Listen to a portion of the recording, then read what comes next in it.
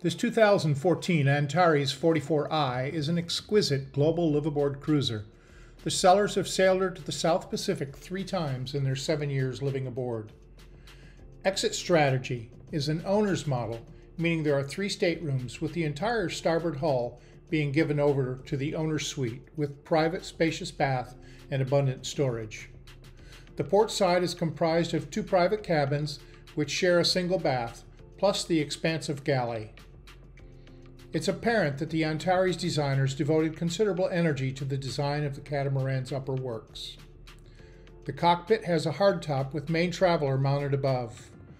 There are seven solar panels sufficient to supply a large portion of the uh, vessel's electrical requirements. The boat is fitted with a full canvas enclosure that protects the entire coach, front, sides, and cockpit.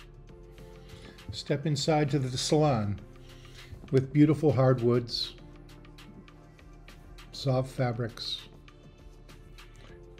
comfortable seating, and about a 360 degree view around.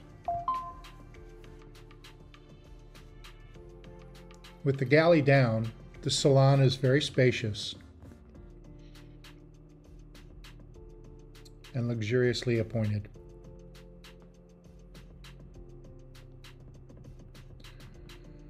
Down a couple steps into the port side is a spacious galley with loads of storage. Aft is a queen guest stateroom. Moving forward, another guest stateroom and the guest bath.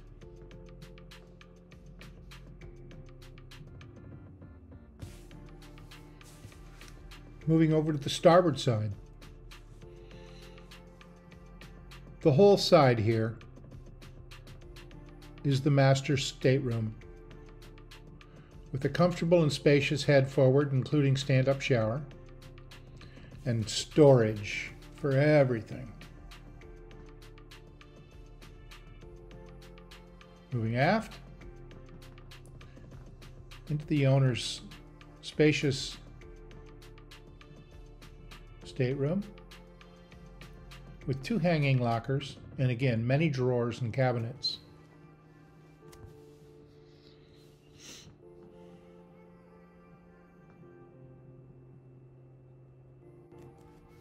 Loaded with features desirable for long range cruising, including solar panels and a full suite of newer sails, new engines with only 200 hours, a gen set, SeaDek decking in the cockpit area, newer electronics, including navigation, weather, communications, autopilot, of course, electric winches to ease sail handling.